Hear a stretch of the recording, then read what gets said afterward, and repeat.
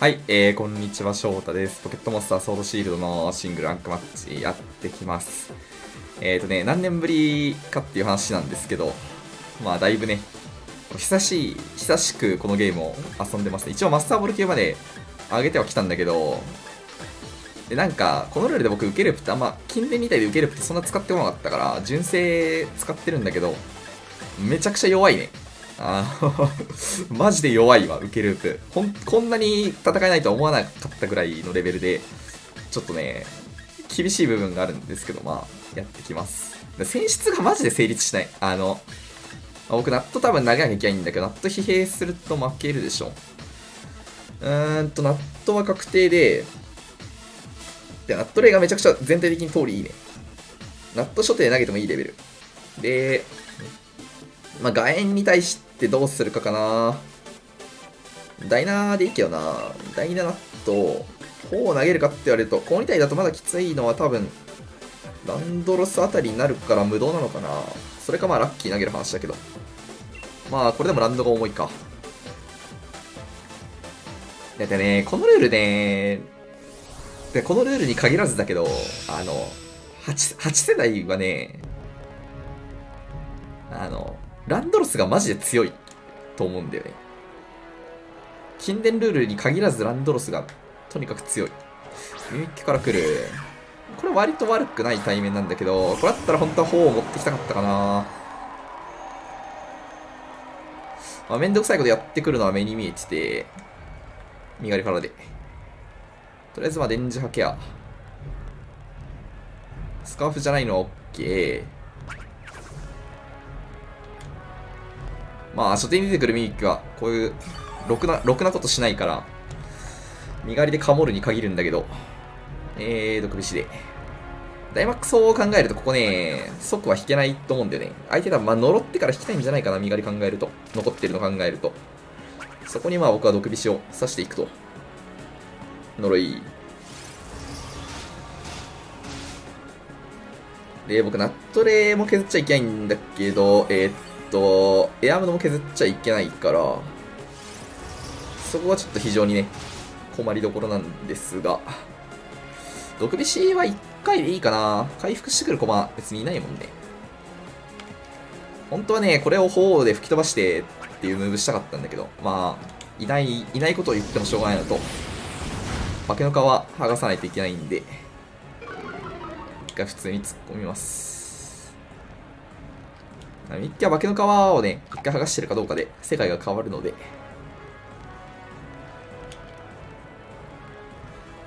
はいはいはい。まあでもこのミッキーはまだ、まだ可愛いもんかな。半分まではいっちゃう。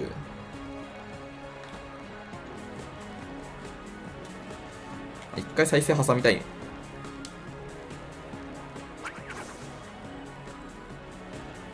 で、まあ、ここどうやって脱出していくかっていう話なんですけど、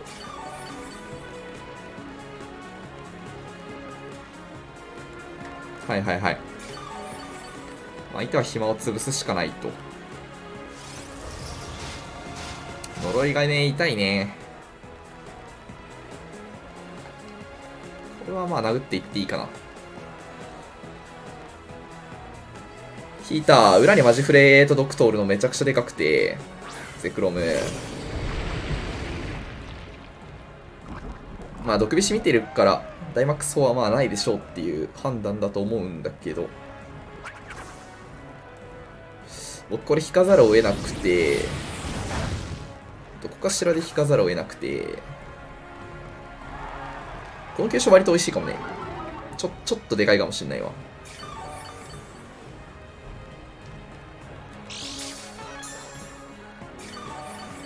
で、僕ね、いや、大が考えるとね、どっちかっていうと僕ラッキー持ってくるべきだった話もあるんだよな。なんか回復してないこいつ。突然、困る技飛んできたわ。まあ、ナットで。僕守るあるんで、無限大な子で削ってもしょうがないのと、えっ、ー、と、ナット引いて、ダイスチル打ってっていっていいかな。裏大賀ならそれはそれで大丈夫だと。大賀いないんだったらめちゃくちゃ楽になるから。あー、でかい。これ超でかい。2個削れるから。ナットレとね、バンギラスのね、あの、残飯の奪い合いが本当に、苛烈。マジで苛烈。ナットレがちなみに負けました、残飯の取り合いに。そのせいでめちゃくちゃ、めちゃくちゃ役に立たないポケモンになっちゃったんだけど。宿り木打ちたいな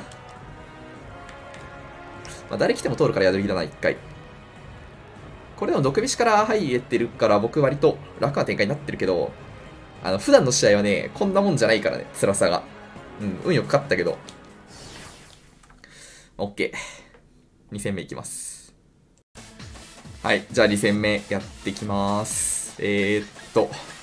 じゃあね、僕、あの、このルールね、純正受けループにとっては、多分、あの、歴代でもね、こう、類を見ないほどね、群を抜いてきついルールだと思ってて、あの、選出がね、本当に成立しないんだよね、大抵の場合。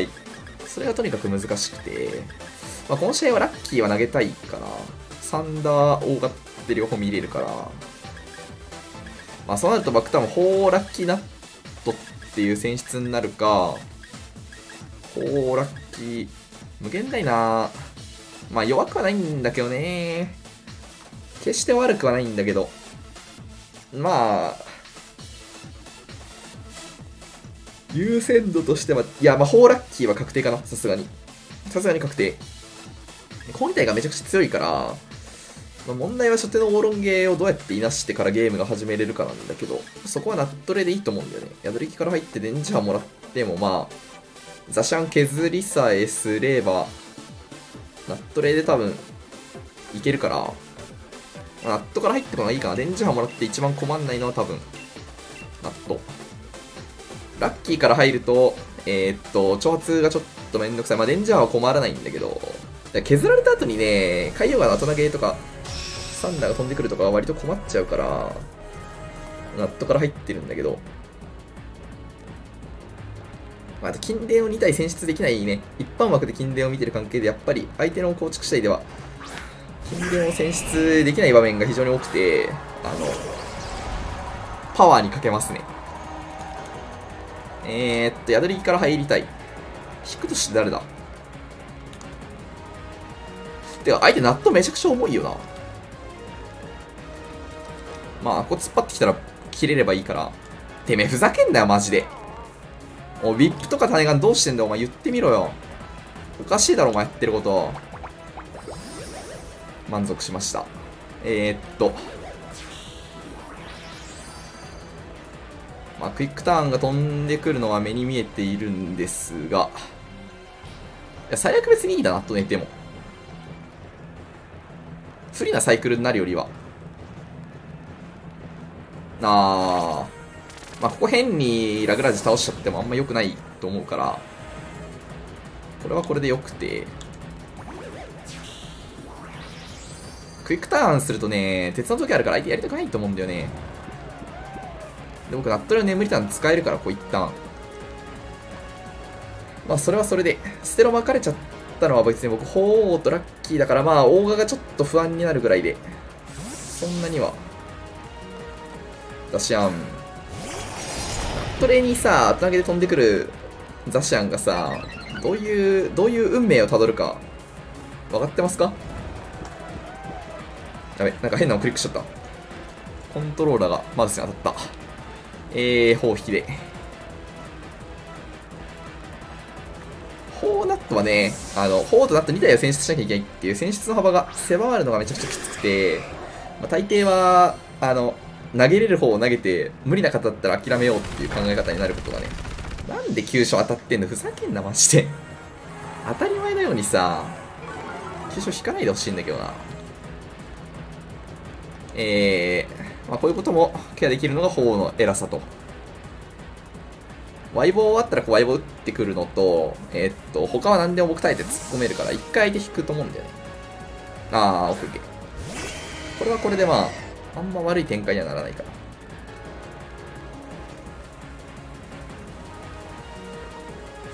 で、多分あの雑誌案は、砲に対して打点はおそらくなさそう。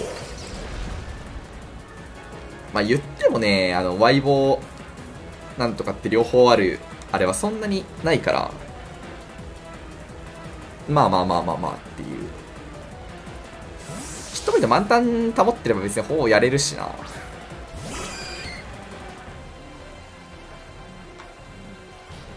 潮吹き。できればレイビーが、こう良かったんだけど、しょうがない。えー、卵海からで。まあ、ここは問題ないため。ラグラージこれ僕ね、ラッキー削られるの割とまずいと思ってるんだよな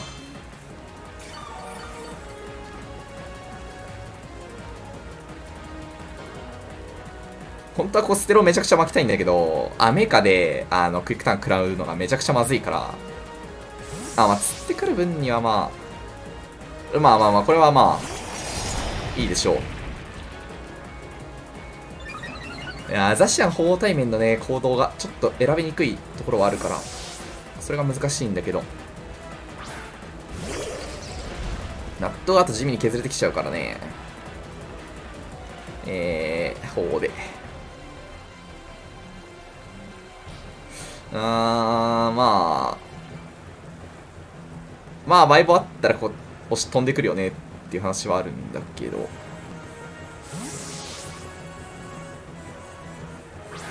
両方あったらそれはしょうがないかな。僕もそういう雑誌は使ったことあるんだけど。こうなってめちゃくちゃ無限にかもれ。これはないね、さすがに。これにさらにワイブあったら僕ちょっと、ちょっとびっくりするわ。それは。ここは1000円で突っ込んでいいかな。氷抜けば何読みだ？まあ凍ればいいやっていう考えなんだろうけど。別に頬凍ってもな、あれ打てるし。ここ割と頑張ってほしいね。ここ燃えると全然話変わるからね。ういー、来たー。まあ、頬はね、これが強いですね。身代わり。身代わり残るから、ラグラージとかカバルドン、かもるために生まれてきた方なんだけど、これ。こういう場面が強いと。オッケー。まあ、ラグ削ってもしょうがないから一回羽押したいかな。ボンのミちなみに多分僕がこのルールで、受け6のさ、純正受けレフ使うの多分、この動画が、に限った話だろうね。もう使わないかな。マスターボールキャまで上げるのも使ってたんだけど、結構辛かったね。まあ、攻める構築使っても、あんまり勝てないのは変わらないんだけど、まあ、部分的にこう、攻め駒を取り入れるっていうのはいいんだけど、ちょっと OK 割れないの OK。受け6に寄せちゃうとね、やっぱりちょちょっと厳しい部分が結構あるんでね。ここ、大が削りたいな大が出てくるよね。大が燃やすとね、世界がめちゃくちゃ楽になるね。非常に燃やしてほしい。一回身代わり張ったるっていう手はあるけど。下から張って、再生力の圏内では収まる。ほぼほぼ収まる。あ、メタン一旦使わせれる。あんま変わんないか。あー、ネット持ってるんだ。これは僕ラッキーにすごい引きやすくなったから、全然いいかな。多分こだわってると思うんだよね。これ燃やしてほしいな超楽になった。めっちゃくちゃ楽になった。大賀がこれで自動で処理できるのと、潮吹きの火力落ちてくから、すごい楽。めっちゃ思い通りに進むなぁまあ、声援に依存するとちょっとね、方は強くないところが出ちゃうんだけど、これはこれで悪くないと。ああ。僕が相手だったらめちゃくちゃ怒るからね。気持ちはわかるんだけど。まあ、次も卵海でいいかな。ステロを巻かれてること考えると、ラッキー死ぬと海洋が一気にきつくなるから、電話切ってくる。それもヒットポイント満タンのさ、潮吹きとパワー変わんないんじゃなかったっけ？ダイマックスを切られたからといってね、特段きつくなることはないんだよ。海洋がマジで怖いんだよな、なんか海洋がって。普通、普通に怖い、なんか生き物として。これ、これを余裕で耐えるラッキーもちょっと怖いんだけど、ここは卵見れんだで。よく考えたらこれをなんか全然余裕持って耐えるラッキーもだいぶ生き物としてさ、不気味だけどね。